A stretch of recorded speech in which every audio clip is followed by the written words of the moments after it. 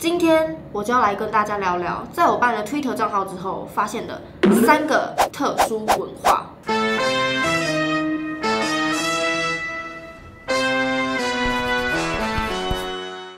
嗨，又是我，欢迎回到我的频道，我是本本。相信大家对 Twitter 这个 app 并不陌生，像我呢，本身就很喜欢日本文化，所以为了追自己喜欢的日本明星，我办了 Twitter 账号。今天我就要来跟大家聊聊，在我办了 Twitter 账号之后发现的三个特殊文化。相信有很多人在单看“射频”这两个字的时候，绝对不会知道它是什么意思。那为什么会知道呢？因为当初在我还没办 Twitter 账号的时候，就有很多粉丝传给我一个网站。那这个网站的名字呢，叫做“本本射频网”。点进去之后，发现哇，不得了啊！里面全是一些稀奇古怪的东西，就好比淡水的“信不信由你”。于是我就进去研究了一番，我看到了好多我的照片，然后上面有很多白白黄黄的东西射在我的脸上。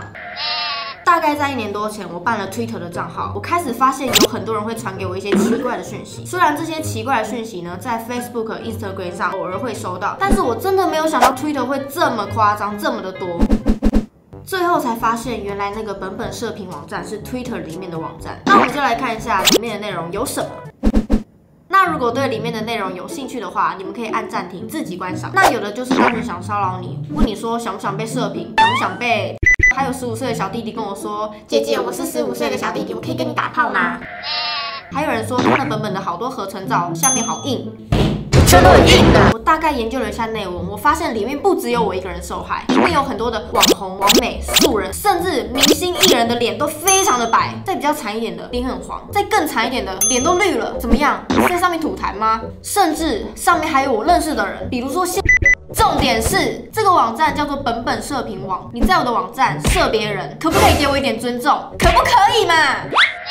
然后我又研究了几个射频网，里面的内文基本上都是写说某某学校的校花、学姐、学妹看起来很高冷，不让人家认识。那既然认识不了她，就来意淫他、射频她。比较搞笑，他们的网站也有一个圈子，他们会跟不同的射频网站做交流，你射我的，我射他的，有的比较爱干净的就会用保鲜膜，所以呢，切记在外面千万不要随便摸别人的手机。有一点我非常的不解，自己看自己射的会爽就算了，但是这些人是男生会去看男生射的提议，然后跟别人说，我看你射的，我觉得好爽。哇，哎，那他如果看着别人吃饭，他就会保是吗？这样很省钱哎。有道理哦。对啊，当然。射频网站里面不是只有受害者，里面居然还有很多的女生特地为了自己办了一个账号，然后在里面疯狂的发照片。他们会发这种照片，赶快喝我的嘴。还有这种照片，我今天没洗头，我需要一点洗发精。这些女生的粉丝量非常的高，甚至到万的都有。射频这个族群呢，似乎有分两大派，一派呢是单纯想要意淫别人、侮辱别人，然后不管自己的生殖器官长得什么样子，都一定要拿出来录给大家看，发给自己意淫的人，得到快感，把自己的快乐建立在别人。痛苦之上，把人细白就是外快哦。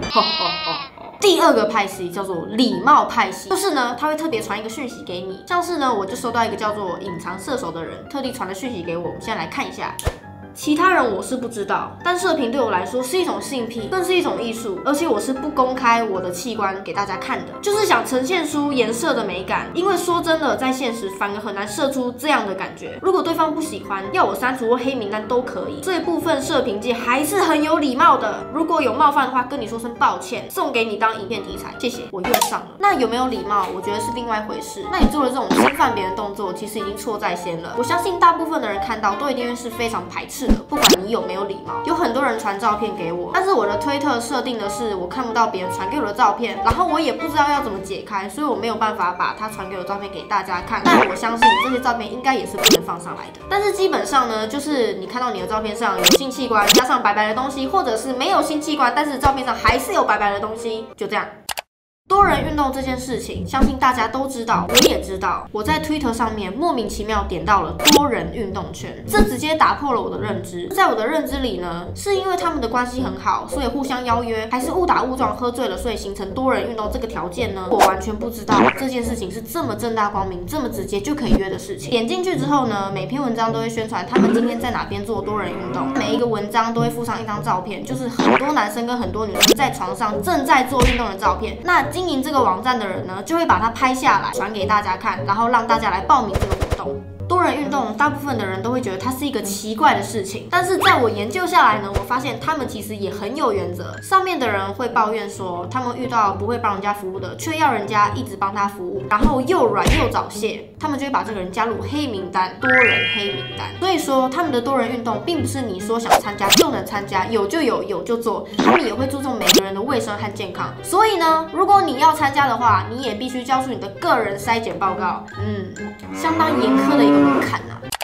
我觉得这个是在这三个圈子里面我最不能接受的一个。我也是误打误撞听到这个夫妻交换圈，这个比较特别一点。我看到的是会有一对夫妻共同经营一个网站，然后上面的简介就会说呢，喜欢看自己的老婆被别人插之类的。那女生也会帮老公宣传说自己的老公喜欢什么样的女生，欢迎传照片给我的老公。那我的老公也会传巨大武器照给你哦。那上面呢会有台北夫妻交换、东部夫妻交换、各地夫妻交换，诸如此类。这个夫妻交换的玩法好像非常的多种，非常的多元化。第一个玩法是，有的是让自己的另外一半住别人的家，就是一个交换同居人的概念，看你会擦出什么样的火花。第二个呢是同房交换夫妻，假如你租了一个 hotel，你在这个房间里面，你可以两对夫妻互相交换自己的夫妻，看着自己的夫妻跟对方的夫妻在。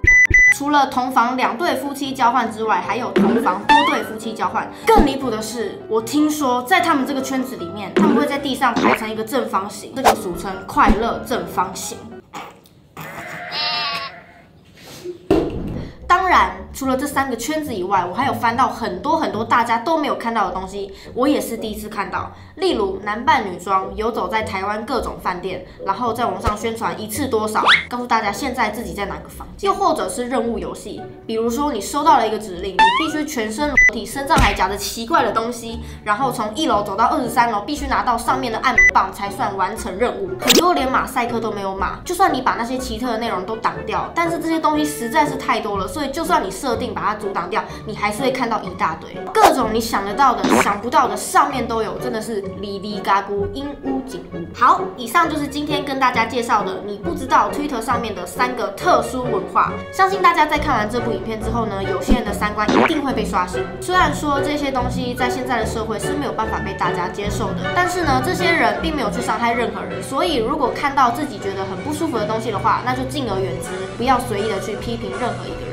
哦，对了，我的 IG 上有一个女生跟我说，她遇到了恐怖情人，但是她没有办法跟朋友，也没有办法跟家人求救。大家千万不能有不敢跟身边的人求救的想法。如果你不跟别人求救的话，就没有人发现你遭遇了什么事。到最后，事情如果真的发生了，就来不及了。如果你被骚扰或是被侵害，一定要勇敢的寻求帮助并举报，千万不要觉得丢脸或者是害羞就不敢向身边的人寻求帮助，因为你不说，真的没有人知道，也没有人能帮你什么。请大家一定要好好的保护自己。好。今天的影片就到这边结束，不要看了不订阅哦，记得订阅、按赞、开启小铃铛，一定要开启小铃铛哦。如果你们还想看我探讨什么主题的话，就在底下留言，反正我也会当你没说过。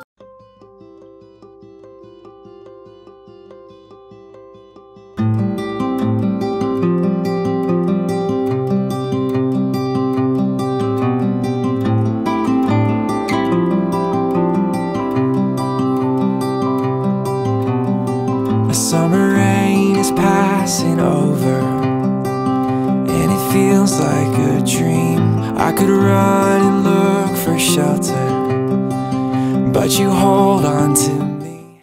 点进，点进去之后发现，哇，不得了，里面全部都是一些稀奇古怪的东西。干嘛啦？看这些奇怪的讯息，偶尔在 Facebook、Instagram 上都会收到。哎呀，更离谱的是，我听说在他们这个圈子里面。他们会躺在地上。更离谱的是，